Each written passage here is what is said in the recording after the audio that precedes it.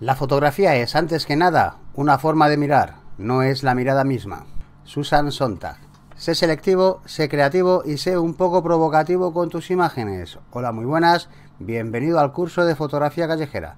En los siguientes vídeos vamos a hablar del autorretrato en la calle. Quiero empezar este vídeo contándote una pequeña anécdota de hace al menos 20 años cuando yo era animador turístico deportivo en las islas de España, tanto en Baleares como en las Islas Canarias. He de reconocer que me engañaban en el sueldo, pero no en el trabajo, me lo pasaba fantásticamente bien bailando, haciendo deporte, haciendo shows y disfrutando del periodo vacacional de los clientes. Una experiencia bárbara para cualquiera que quiera trabajar y tomar el sol a la vez. Es verdad que en ese trabajo aprendí inglés, conocí muchísima gente, hacía deporte a todas las horas, salía con los turistas y de vez en cuando me salía alguna que otra novia.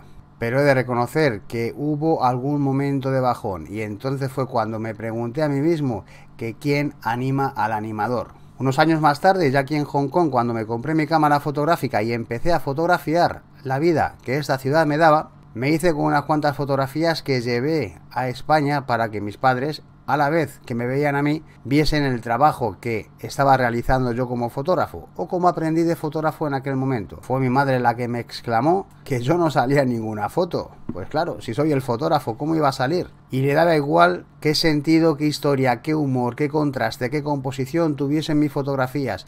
Mi señora madre lo que quería es que su hijo saliese en ellas. Y entonces fue cuando me pregunté quién fotografía al fotógrafo. Y empecé a buscar espejos, sombras y cualquier otra técnica que me facilitase a mí el pertenecer a la escena. El autorretrato en la calle gusta, hace que pertenezcas a la escena descaradamente como ya lo hicieron Velázquez y el Greco en sus obras Las Meninas y el entierro del conde de Orgaz respectivamente, muy valientes, o como Alfred Hitchcock lo hacía en sus películas, sin decir esta boca es mía, pero dándose cuenta de todo. Tú también puedes pertenecer a la escena en tus fotografías. Sé testigo número uno de lo que sucede en ellas. Autorretrátate, como Velázquez en las Meninas. A partir de esta lección vamos a dar muchísima más importancia a los espejos retrovisores que veamos por las calles, a las sombras, a los reflejos de los escaparates, a las ventanas.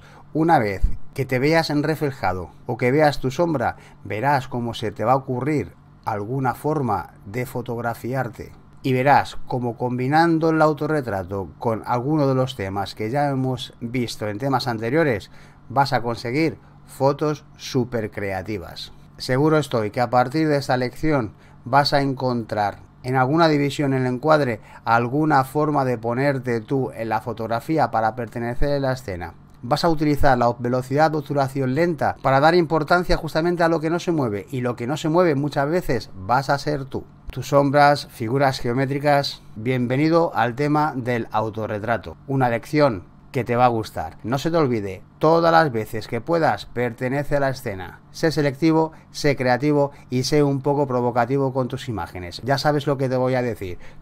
a darle duro. Nos vemos en el siguiente vídeo.